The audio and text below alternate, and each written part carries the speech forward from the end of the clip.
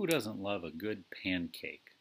That's why we're going to name this the pancake method so you can do some calculus and daydream about a wonderful breakfast. If you looked at this method that you're going to learn in a calculus book, it would probably be probably be called circular discs, but I think you can agree with me that this is a catchier name. You'll see why this is happening as we go through this. So going to be a weird concept. You're going to have to open up your imagination. I'm going to take a fairly cooperative function, y equals sine of x, over 0 to pi.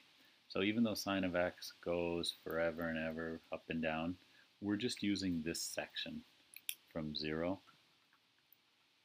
to pi.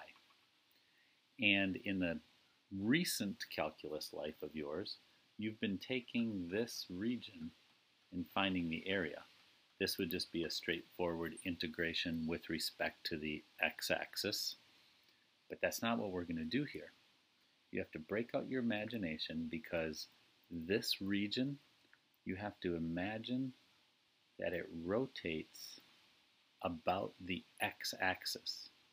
So in other words, pretend like I could take my fingers and go twisting it back and forth. That's not working out too well, but and as I'm twisting the axis around, this region is rotating.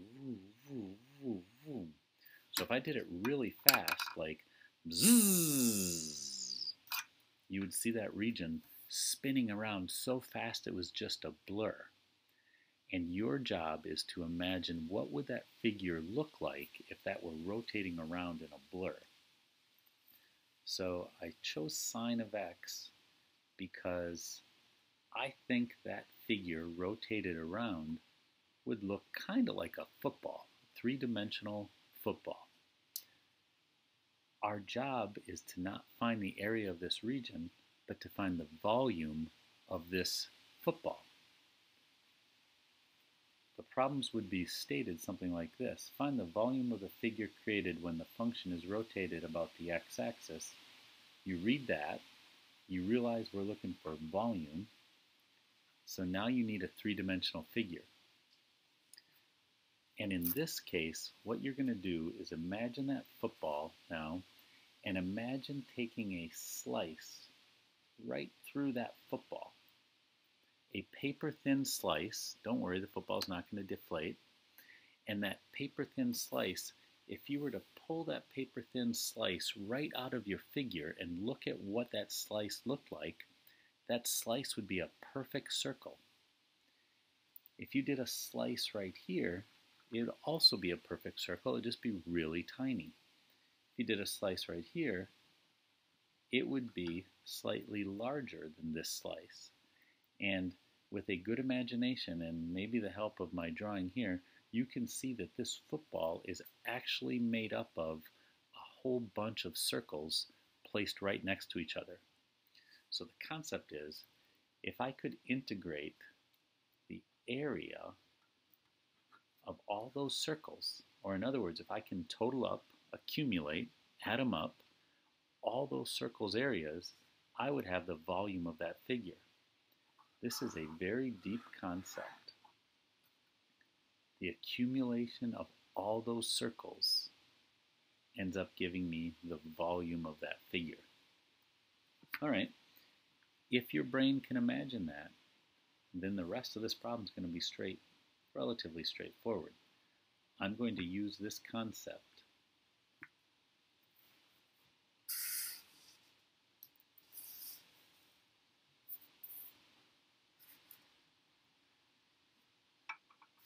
All right, so I've redrawn that figure, and you have to remember that the three-dimensional figure actually goes down here because we're imagining that it's rotating about that axis. Um, and so any slice right through there represents a circle. And by the way, if I if that's a circle, then this distance right there, that's the radius. Because if I took this slice over here and I kind of tried to draw it three-dimensionally over here, that's that slice,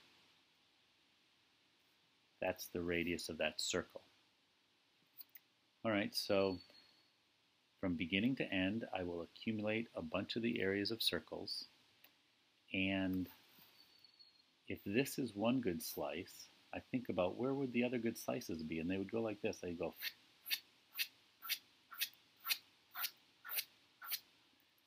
So as I'm making those slices, each slice that I, each new slice that I do, I'm further along the x-axis. So I'm progressing along the x-axis with my slices. That's what makes this a dx problem. That means my very first slice was right here. I began at zero. As I was slicing along the x-axis, my last slice happened here. We know sine hits the x-axis again at pi. So from 0 to pi, let's take a bunch of pi r squareds as I travel along the x-axis. Well, that y is really this radius. Because if I think about this radius, right there, that's a y value because it's a distance from the x-axis up to a function. That's a y value in algebra. So instead of writing r squared, I write y squared. But notice that this is a y, and we said this is a dx problem. That tells me that the y is an unwelcomed variable. I want x variables. Well, lucky for us, this is an easy switch. This is the equation y equals sine of x. So I can replace y with the sine of x. I can replace y with the sine of x. Do you hear that blue jay? He's angry. He's still angry. Okay, so at this stage, I've got a full integral. It's with respect to x. I'm using the variable x. I'm beginning and ending along the x-axis. So I can just take this, plug this into my calculator, I have it. By the way, just so you know, or remember, this prob, this integral can be rewritten. This is a constant coefficient, so I can put it out in front. This can also be written using this type of notation. And my answer could even be written like that. The reason I'm telling you this is very frequently these types of problems on an AP test, they don't necessarily want you to work out a final answer. They will often say, write an integral to represent the volume of that figure.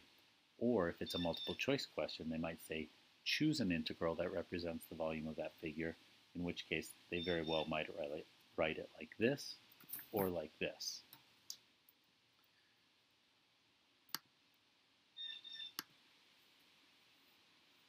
Okay, I've set up a new problem, and in this case, I have a very friendly equation, y equals x squared minus 4, and there's a region trapped between this function and the x-axis. It's the red polka dot. And what we want to do is we want to find the volume when this region is rotated about the y-axis. So again, imagine like we did before that you could take that axis, in this case the y-axis, and twist it. As I twist it, this region rotates about the y-axis and you get a three-dimensional figure pause the video to try to see if you can imagine or sketch what that figure looks like.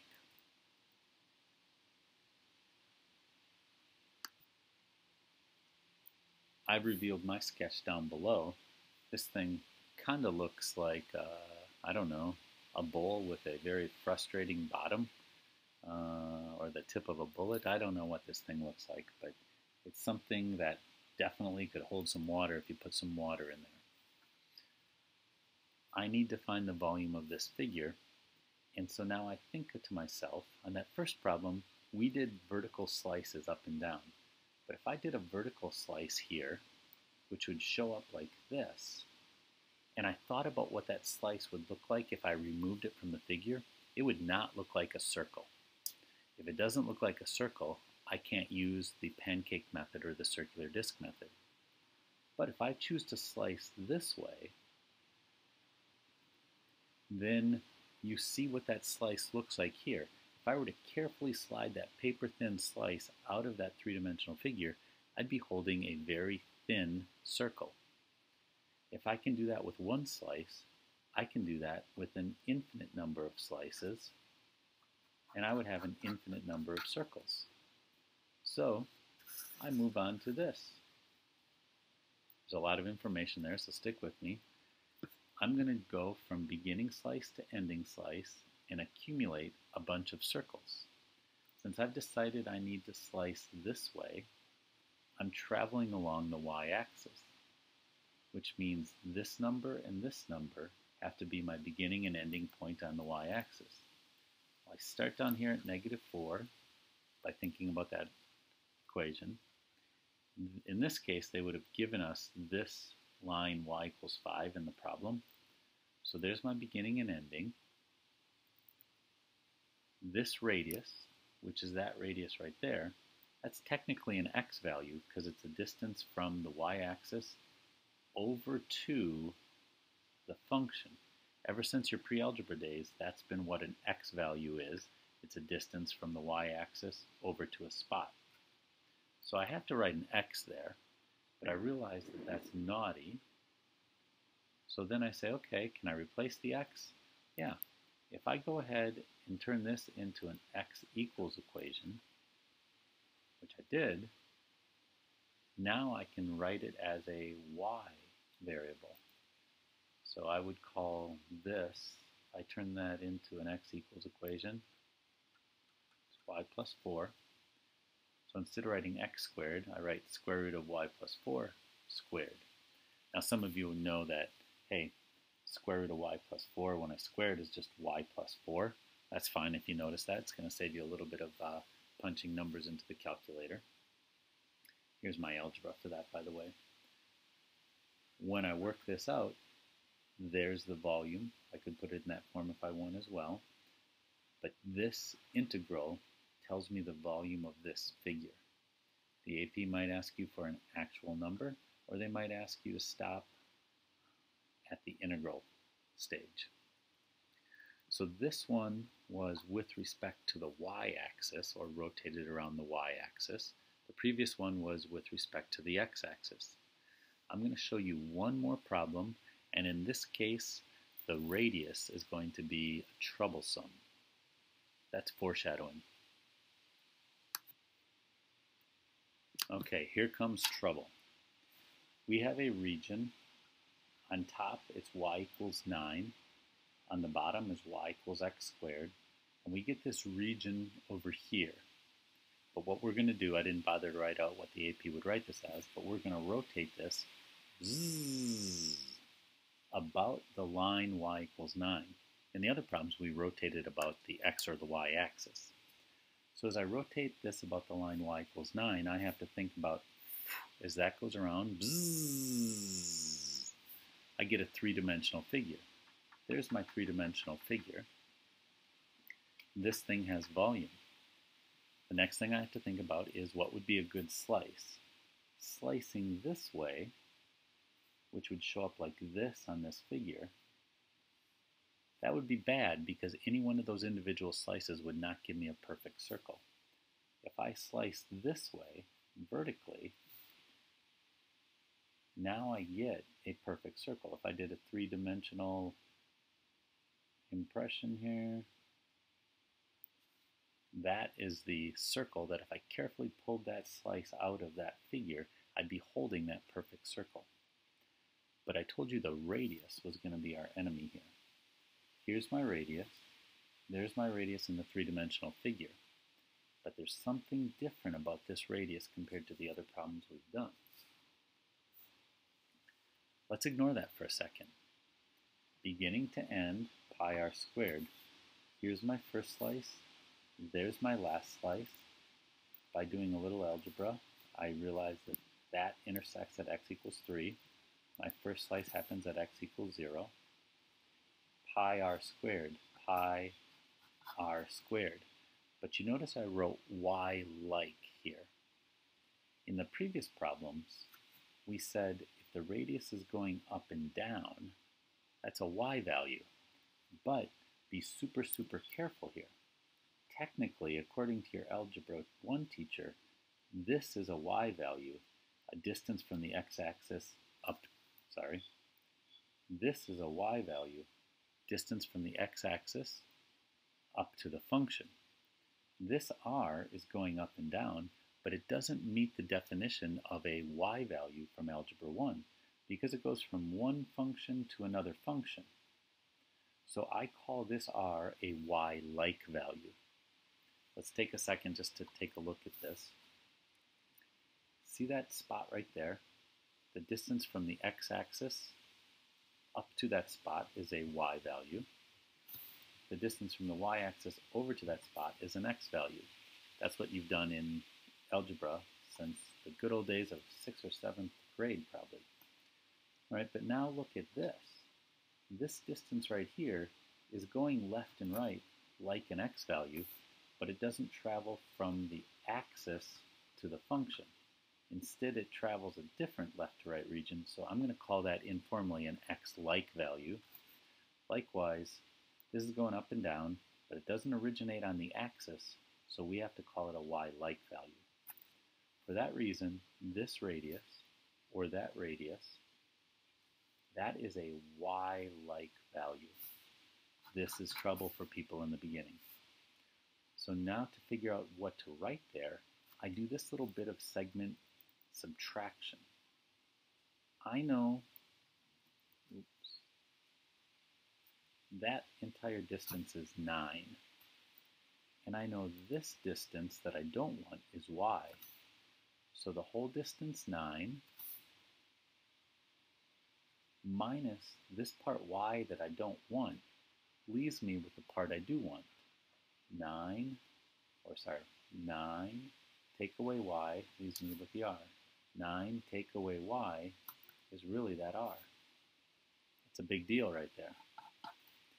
And then finally, since I knew this was a dx problem because my first slice and my last slice showed me slicing or progressing along the x-axis, I know that that y is naughty, so I take that y and replace it. Well, y is the same thing as x squared, so that y turns into that. Um, ooh, looks like I made a mistake. See that squared right there? I need to remember to put it there as well. Which makes me wonder if I caught that when I put this into my calculator. So I'm going to say I don't know if that's the right answer, but I kind of don't care because this is an example of how the AP would say, hey, write the integral that leads to the volume of that figure. And this is my radius squared. This is my radius squared.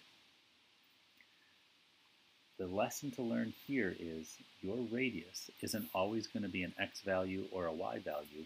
It might be x-like or y-like. As you can tell, the pancake method, it takes a little bit of brain power, but you know it is delicious. Catch you later.